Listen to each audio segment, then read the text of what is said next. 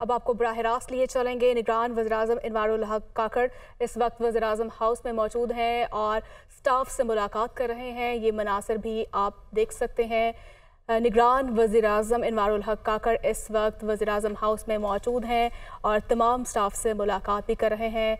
मुसाफ़ा किया जा रहा है, ये मनासर देख सकते हैं। कुछ देर पहले उन्होंने हल्फ उठाया है और हल्फ उठाने के बाद अब वो वज़ी अजम हाउस में मौजूद हैं और तमाम स्टाफ से मुलाकात कर रहे हैं। मुसाफ़ा किया जा रहा है। ये मनासर कुछ देर पहले के मनासर हैं, जो आप रास्त देख सकते हैं।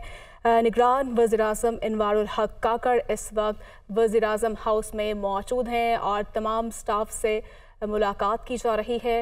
ये मनाजर हैं। कुछ देर पहले के आप देख सकते हैं, कुछ देर पहले उन्होंने हल्फ उठाया है और ऐवान सदर में ये तकरीब हो रही थी और हल्फ उठाने के बाद इस वक्त वो वज़र हाउस में मौजूद हैं और स्टाफ से मुसाफ़ा किया जा रहा है, मुलाकात की जा रही है।